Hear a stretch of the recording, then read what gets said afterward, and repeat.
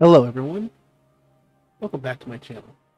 My name is Chris Bryer, and today I'd like to show you how to draw the female chest. Now, of course, we can't use the uh, actual terms for it because, you know, want to keep this on YouTube and keep it clean. And uh, today, I have here three uh, subjects here front facing, uh, three fourths facing, and uh, facing on the side. Now, I could show you the sketch of it here, but uh, obviously that's not exactly why we're here today to show you. If you want to see that, I can possibly do another tutorial sometime later. Feel free to leave that in the comments. Now, one useful tip here. You can see right here at the layer, I have it locked. The icon here locked. Most other paint programs should have a very similar uh, feature.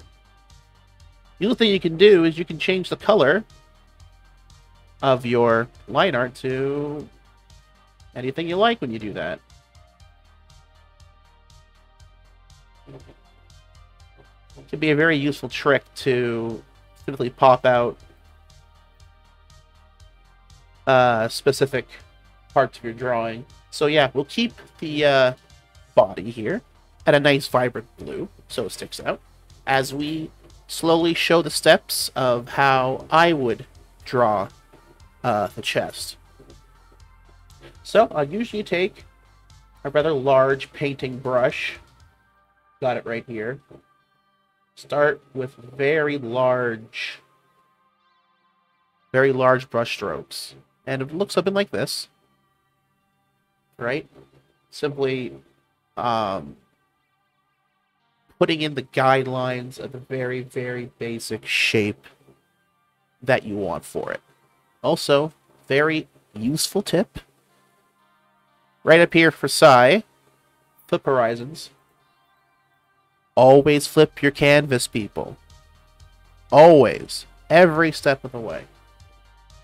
Anyways, so how I would normally draw with these very large painting brushes. Start with a very large brush, and then about cut it by half as I draw over and flip the canvas. So next level looks something like this. As you can see, I have to make a bit more connections to where the uh, chest fat would actually connect to.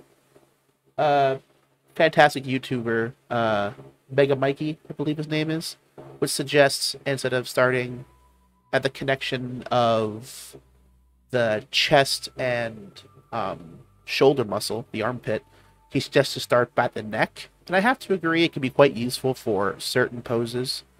But in other poses, like say here, it is maybe best to actually try to connect where the actual fat tissue would go, which would be at the uh, armpit slash chest and shoulder muscles meeting.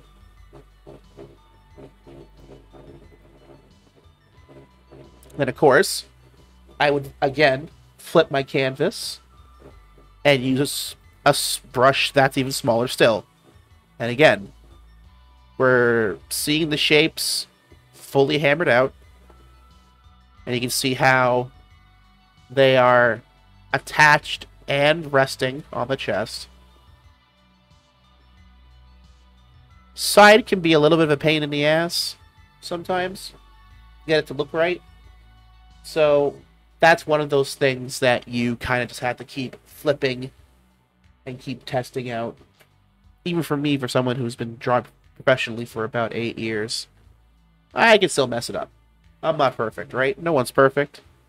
What's the uh, lovely words of uh, Bob Ross. Happy mistakes and all. And again, flip your canvas, use a smaller brush. And now we start actually getting the shapes of discerning where the planes are. And discerning the planes is essentially how you would create form. Because without planes, there is no form. So then you have the planes of the chest and where they curve off and where they curve around. And where they curve into, right? Again, at this step, it actually helped quite a bit for the side profile. Still not perfect, mind you, but getting there. And of course, you start to see how my base has those very same plane lines. I don't always draw them out that specific when I'm sketching. I don't necessarily need to, but it can be a very useful tool just to kind of remember where shadows and lighting would go, for example. But just to kind of have the three dimensional shape in your mind. And again, you would flip your canvas like a good boy and use a smaller brush. And essentially, this is the last bit of the sketch where you have fully connected the breast to the uh, very edges of where the uh, chest muscles are meeting the shoulder muscles, showing the flatness of the plane on top, going over and showing the edge of the of the, of the chest. And now we actually, the uh, side profile is not looking too bad now. Yep, even someone like me, I ain't perfect.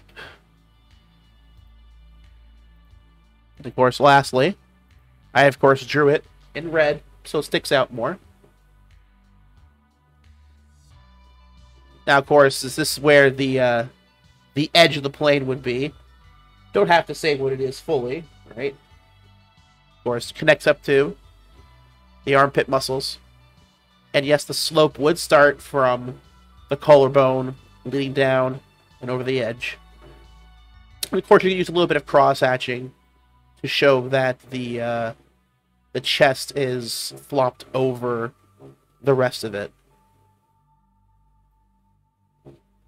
And essentially, at least for me, that's how I would do it. If you guys have any questions or suggestions, feel free to leave them in the comments down below. My name is Chris Bryer, and thanks for having me. Take care.